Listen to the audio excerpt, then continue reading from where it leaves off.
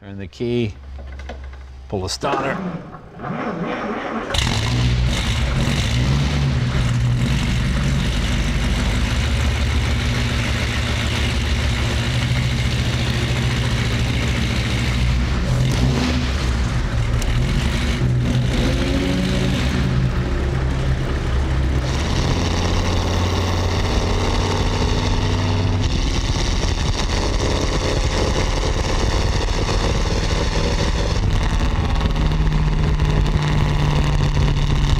It's just hard to explain how much fun this is to drive. It's like the ultimate convertible.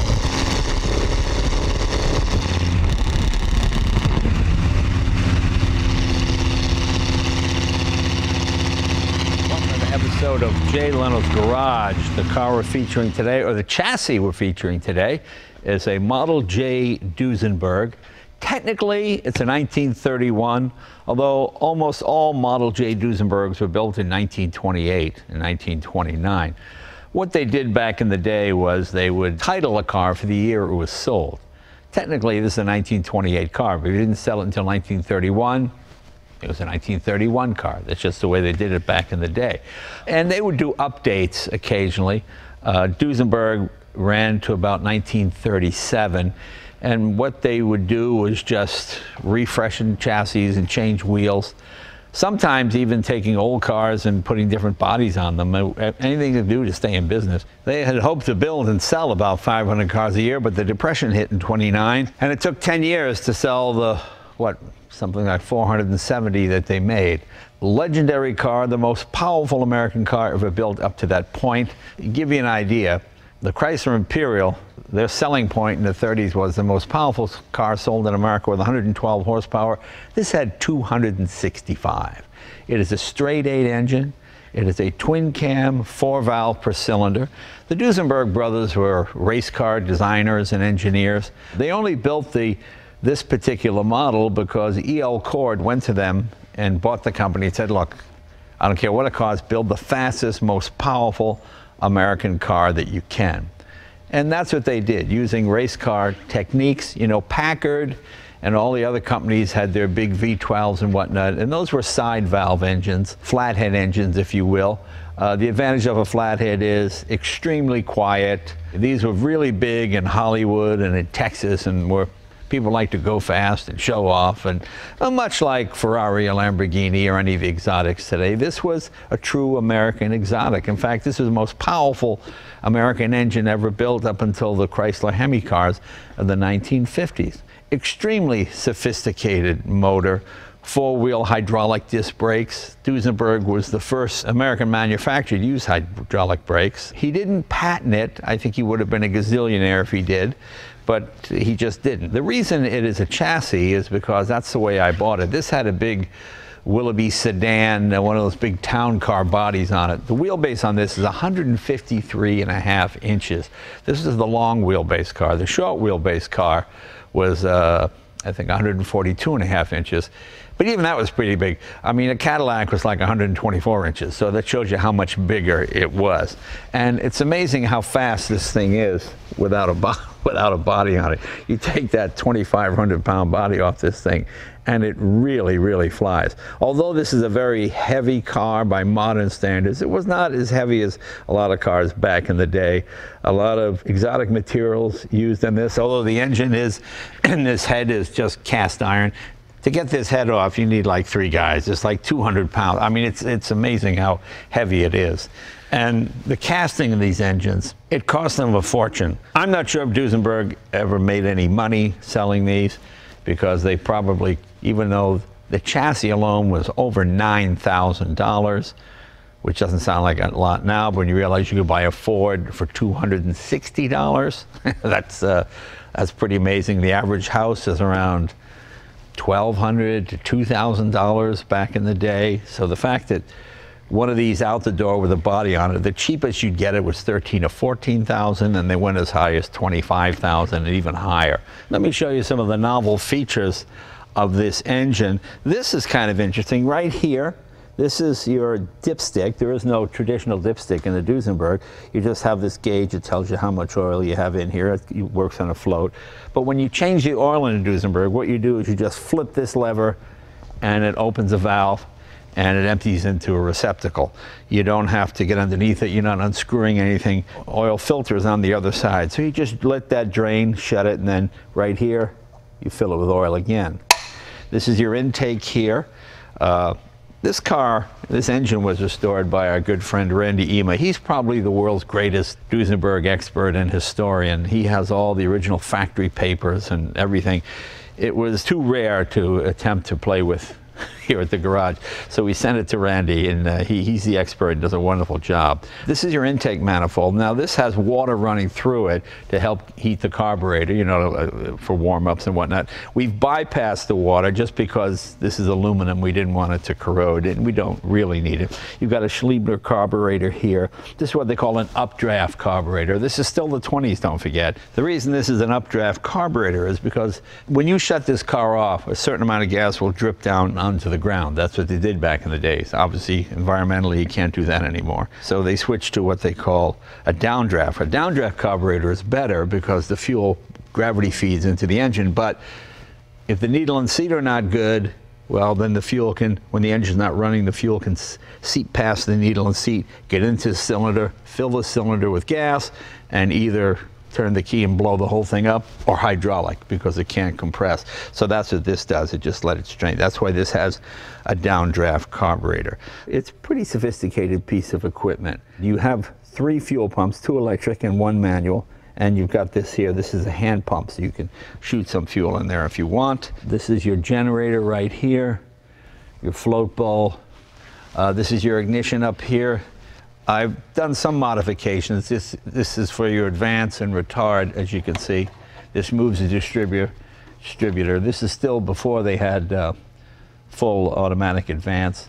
Uh, this is cast aluminum firewall, which is pretty amazing too. Relay box up here. Uh, this is your chassis lubricant. As you can see, it's not connected here just because we don't really need it.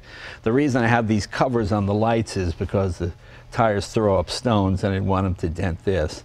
I can't remember why they added this Duesenberg emblem. The early cars didn't have it, but you know, Rolls-Royce, Hispano Suiza, all the fancy car companies had an emblem, so you figured, okay, why not? Be nice to impale a pedestrian on there every now and then.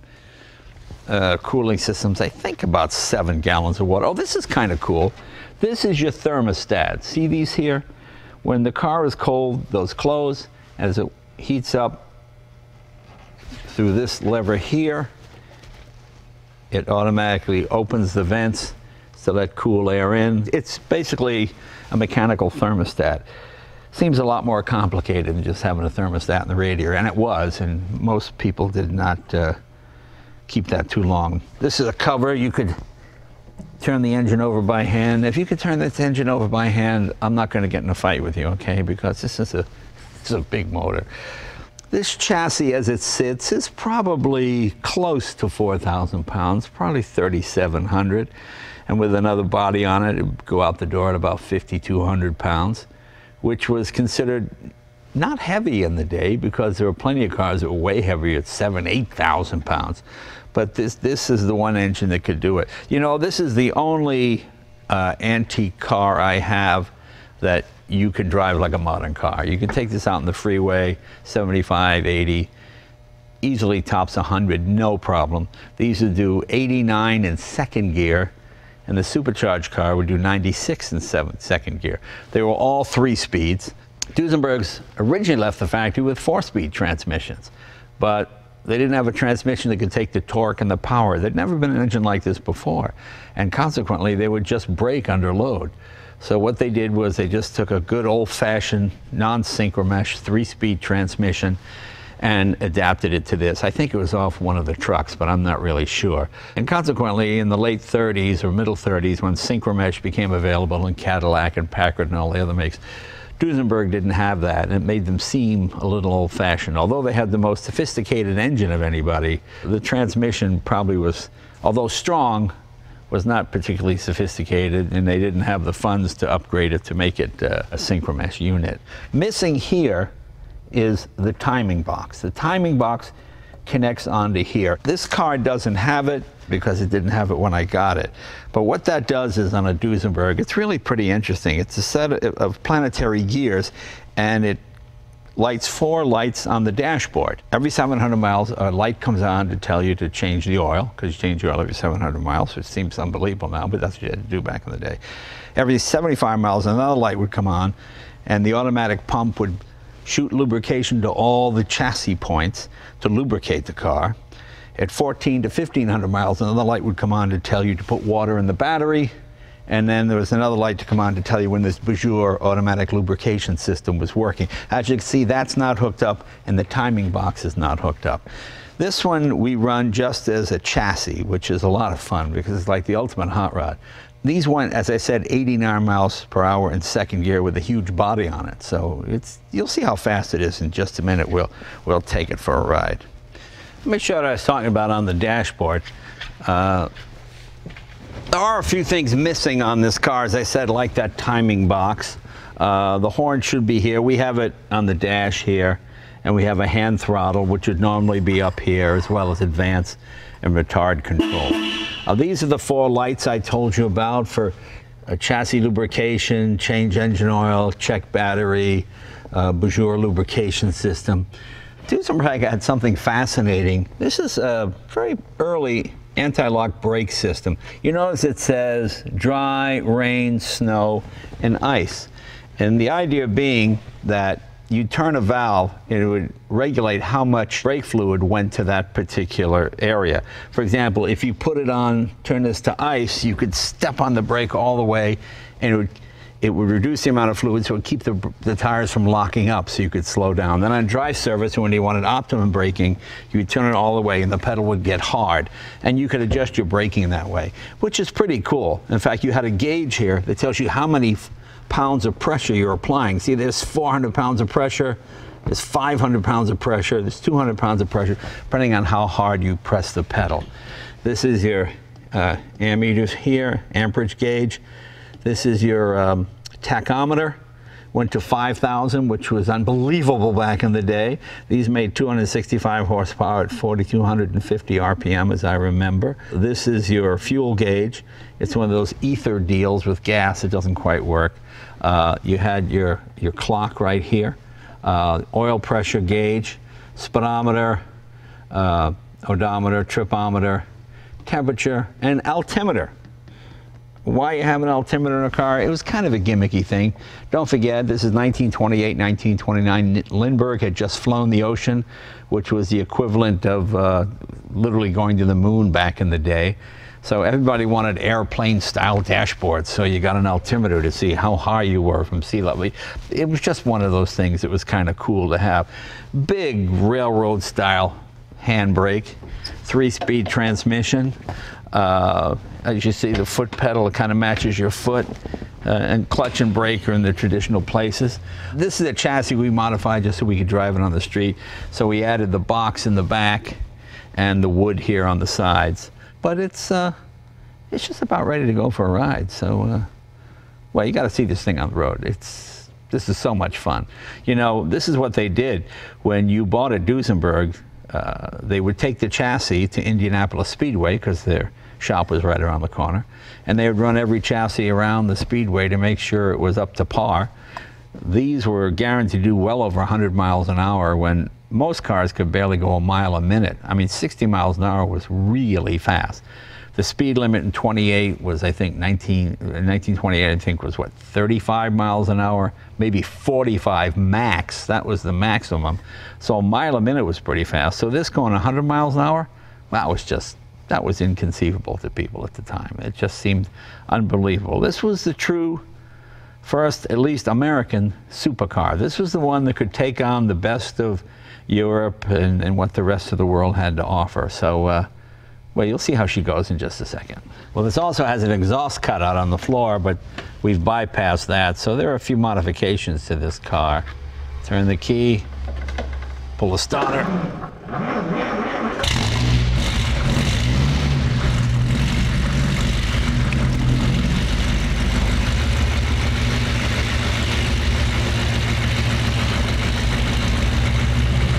This will be fun.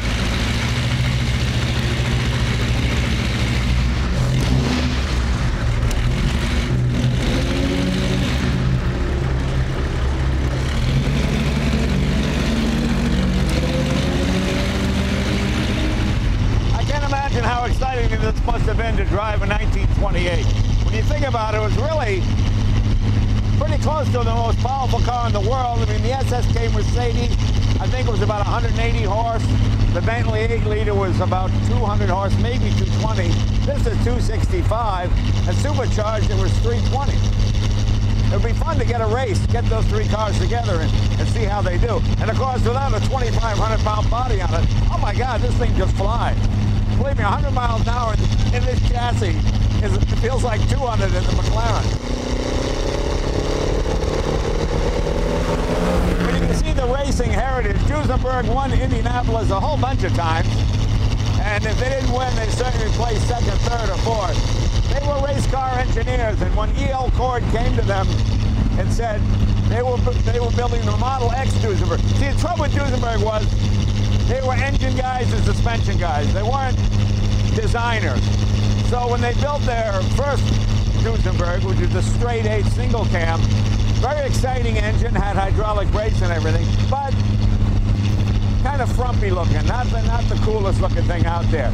And as like most great engineers, they weren't good businessmen. So E.L. Cord came to them and said, listen, uh, stop what you're working on. They were building a Model X Duesenberg. And they said, we want, I want you to build the fastest, most powerful American luxury car ever built. And that's what they did. In fact, the last Model X they built is sitting in my garage right now. It's unrestored. It's right in the it's right in the line there, 1927 four-door sedan. This car came out. It had twice the horsepower of the next biggest engine car in America, the Imperial, and had six times the horsepower of a Chevrolet Ford. This was just seen as something like from another planet, and extremely complicated to work on. To adjust these valves, it's a 40-hour job. It literally has 40 hours. That's a whole work week just to adjust the valve. But on the plus side, they said they could go 10,000 miles between valve adjustments. Lycoming built these engines in Pennsylvania. They also did aircraft engines. And they probably threw away, oh, probably two or three blocks for every one they actually used. This is an extremely complicated engine and head to cast. In fact, a good friend of mine who has since passed away, a wonderful guy named Jim Snack, he remanufactured some Duesenberg heads because there are an awful lot of cars out there that weren't running anymore. The heads were about $42,000 a piece. I think he lost money in every one. But you still had to do the finishing uh, rework on it, you know, finish machining and all on it. But thanks to him, a lot of Duesenberg engines are still running, so we thank him for that. But it has such a great sound, you know?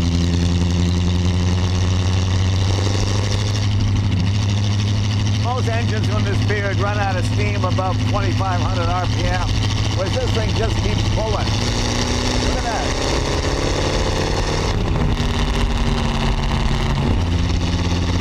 It's just hard to explain how much fun this is to drive. It's like the ultimate convertible.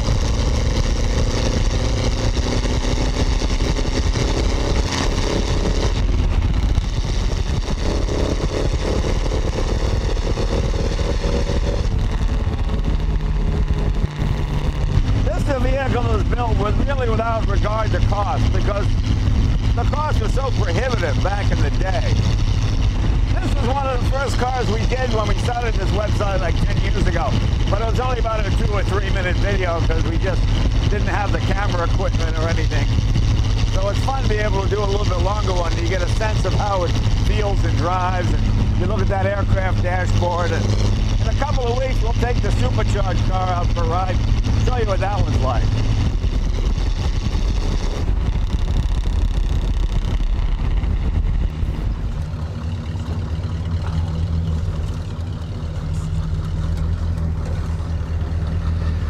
Well, I hope you got a had a little fun looking at this piece of history. You know, so many of these Duesenbergs, they just sit in museums and they put a velvet rope around them. People walk and look, and they get no sense of how they sound and how they feel, even what they smell like, you know. And it's it's great fun to take it down the road and use it for the purpose for which it was intended. And that's what's kind of fun about this. This isn't some pristine show car. It's just a chassis, so you can take it out and run it up to four grand or forty five hundred and this thing's been over 100 miles an hour a number of times, and it's uh, it's it's it's just a lot of fun to drive. So, I, I, I hope you enjoyed this piece of history, and uh, if you got a Duesenberg, get out there and use it. See you guys next week. Thanks.